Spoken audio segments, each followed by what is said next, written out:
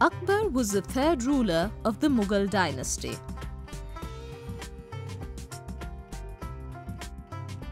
Many monuments were built during his reign.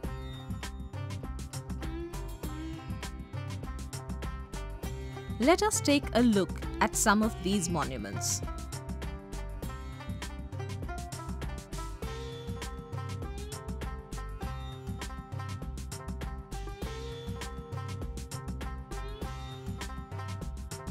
Humayun's tomb was built in the 1560s.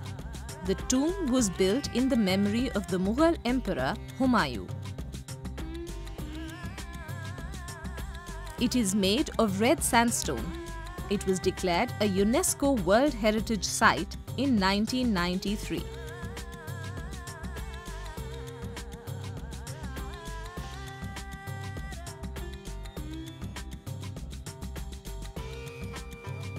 Humayun's tomb complex includes the main tomb of Emperor Humayun and graves of his wives Bega Begum and Hamida Begum.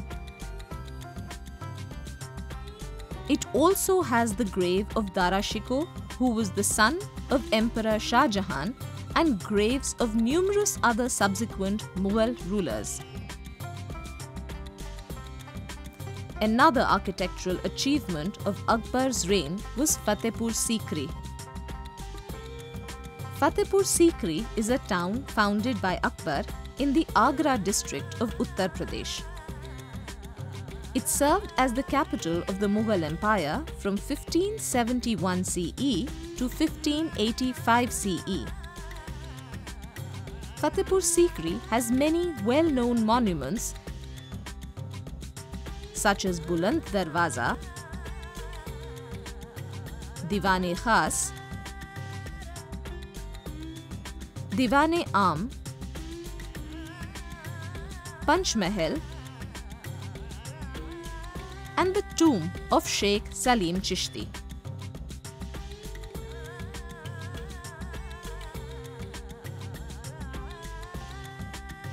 Have you ever visited or seen any of these monuments?